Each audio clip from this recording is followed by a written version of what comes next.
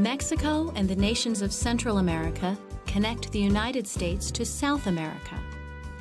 Shaped like a funnel, Mexico is more than three times the size of the seven countries of Central America Guatemala,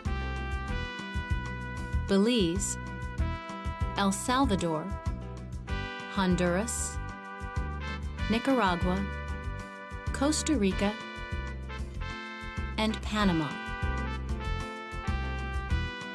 Mexico is bordered by the Pacific Ocean to the west and the Gulf of Mexico to the east.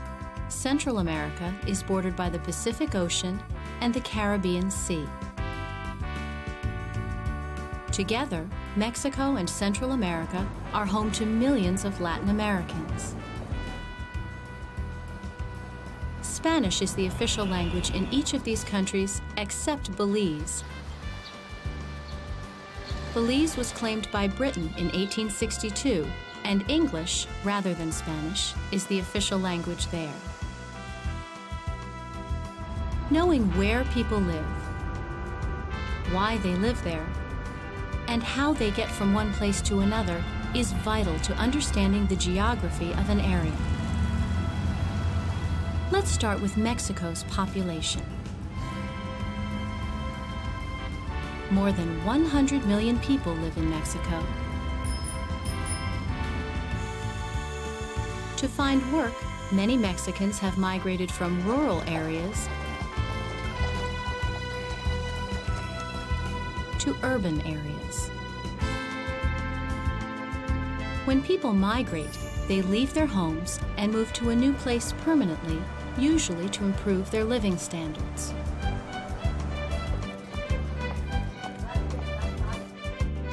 There are more opportunities for employment in large cities like Mexico City. More than 18 million people live in Mexico City, the capital of Mexico. Located near the center of the country, it is one of the most densely populated cities in the world. Mexico's topography has rivers, mountains, and plateaus. The Rio Grande separates Mexico from the southern border of the United States. And the peaks of the Sierra Madre Oriental and the Sierra Madre Occidental run down the eastern and western parts of the country. Plateaus form the largest section of Mexico, where most of the population lives. A plateau is a large raised area of mostly level land. Northern Mexico receives little rainfall.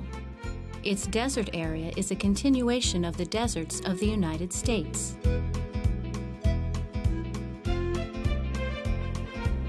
Mexico's plateaus receive more rainfall, and the soil is fertile from volcanic ash. This is farming country. The mountains of Mexico have sparse vegetation, but they are rich with other natural resources gold, silver, copper, and many other minerals. Buried deep underground, these minerals are the result of the volcanic activity that formed the mountains millions of years ago. The mountains of southern Mexico are over 17,000 feet above sea level. If you traveled from there to the southernmost coasts of Panama, you would experience an extreme drop in elevation. As the elevation changes, the terrain changes dramatically. The rocky terrain of northern Mexico supports only the hardiest plants. But the Isthmus of Panama, at sea level, is covered with swamps and thick forest growth. Notice how the mountains and rivers cross Central America on this physical map. Let's add the country borders. What do you observe? Many of the borders follow mountains and rivers. In many cases, natural features determined country boundaries. Central America's tropical climate and fertile soil are ideal for agriculture. Many people here earn a living by farming. Mexico and the countries in Central America bridge the United States and South America. The terrain of these countries ranges from mountainous to coastal to lush tropical rainforests. From Central America's farmland to Mexico's abundant mineral deposits, this region provides its people with a rich array of natural resources.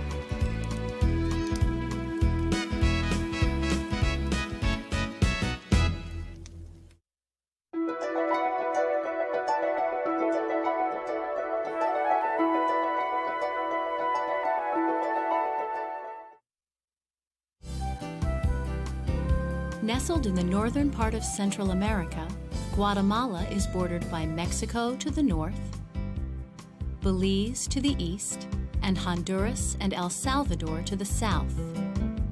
Its western coast borders the Pacific Ocean, and its eastern coast borders the Caribbean Sea. Like most other countries in Central America, Guatemala was a Spanish colony.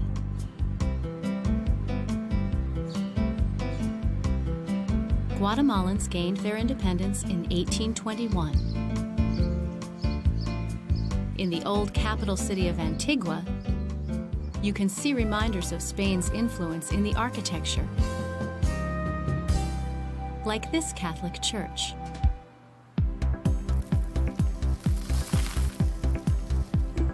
Guatemala is known for its coffee beans coffee plants thrive in altitudes of 2,000 to 6,000 feet and need about 60 inches of rainfall a year.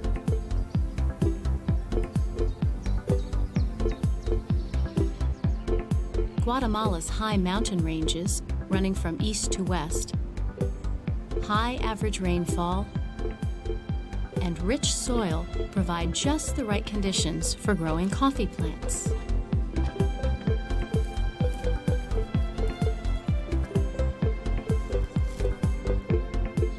Coffee has been a leading export for many Latin American countries, and coffee production has shaped Guatemala's economy and its landscape. Most of the demand for coffee comes from the United States and Europe.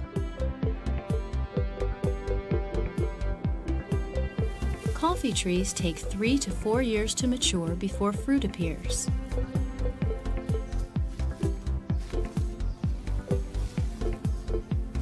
Growers harvest the berries from December to February. At this stage, the berries look nothing like the coffee you see at the store. They look more like cranberries deep red color means they are ready to be harvested. The berries are transported in bags to a processing plant.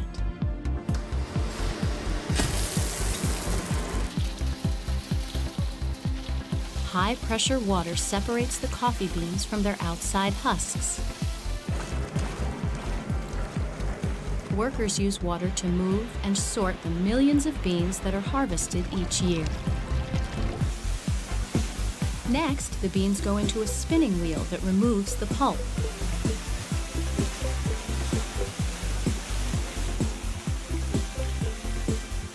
Ripe beans split from the pulp, unripe beans don't.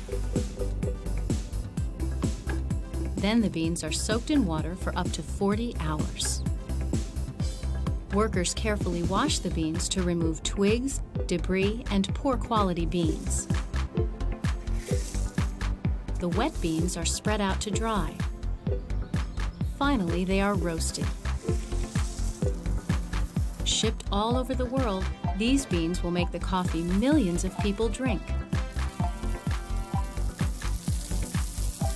Because coffee production and other agriculture is a major part of Guatemala's economy, many Guatemalans earn a living by farming. As long as coffee remains a popular drink, Guatemala will continue to export this precious bean.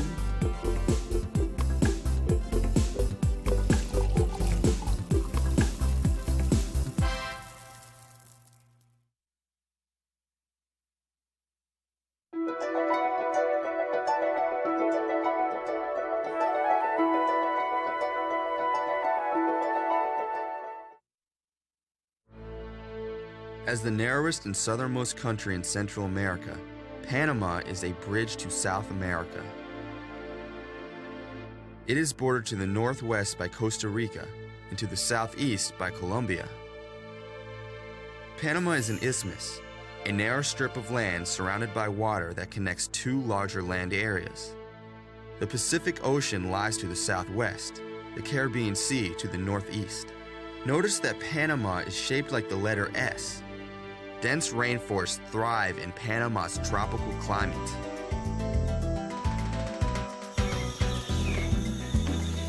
This region in the southeast of Panama is known as the Darien. It is the largest rainforest in Central America. Visit this humid region of thick vegetation and you enter the domain of boa constrictors, two-toed sloths, ocelots. Thousands of other species of plants and animals inhabit the rainforest. For the people who live here, having a machete comes in handy. It's the only way to cut a trail through the dense growth. It may be difficult for humans to survive in the sticky, hot, bug-infested forests of Panama, but many plants and animals thrive here. Thousands of species exist nowhere else in the world.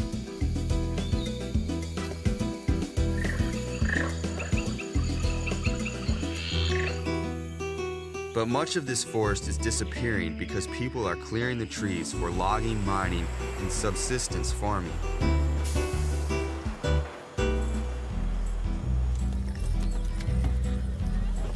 Cutting down forests is called deforestation, and in Panama, it is taking place at a rapid rate.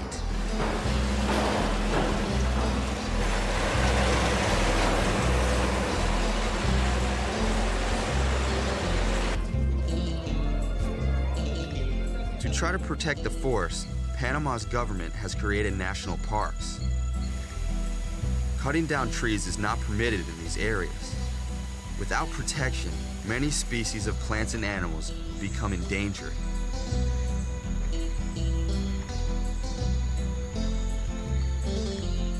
Clearing forests and cutting down trees was necessary for one of the greatest feats of engineering.